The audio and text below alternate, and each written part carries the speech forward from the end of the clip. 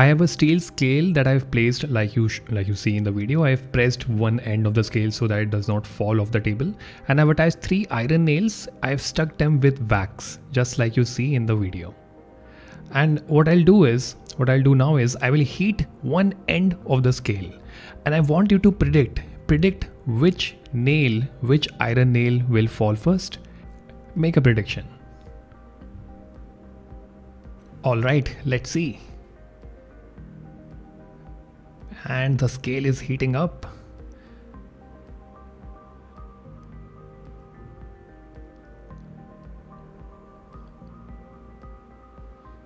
And there you go.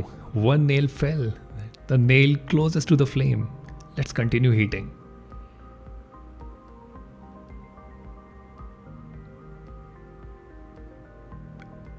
Alright, and now the middle, the nail in the middle fell why did this happen? Why did the nail closest to the to the spot where we were heating why did that nail fall first? Think about it